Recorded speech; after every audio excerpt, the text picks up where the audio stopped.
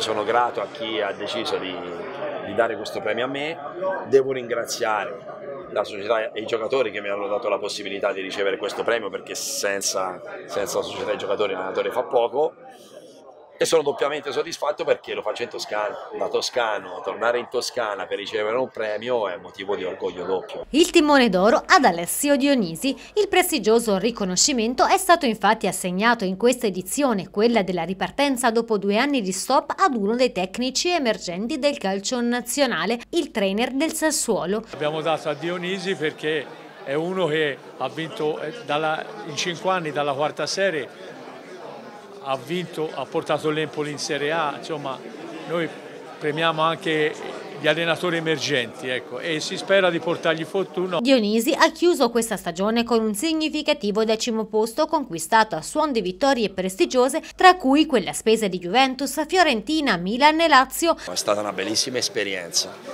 E, ehm, Ora, ora, sono entusiasta di poter eh, riapprocciare la seconda stagione, ecco. non vedo l'ora di riniziare anche se abbiamo appena finito, ma io spero di, di ritrovare tutti e se qualcuno ci sarà, sarà, sarà ben sostituito, realmente l'obiettivo sarà quello in base alla squadra che, che avrò e avremo a disposizione di, di replicare il campionato fatto e magari anche migliorarlo, però ora è troppo presto, abbiamo appena finito e dobbiamo vedere come ripartiremo, con che ambizioni. Un riconoscimento speciale poi è andato anche a Maurizio Sarri. Che se lo merita perché in fondo è un nostro associato e dare un premio a Sarri ha vinto alla Juventus e per noi è un vanto.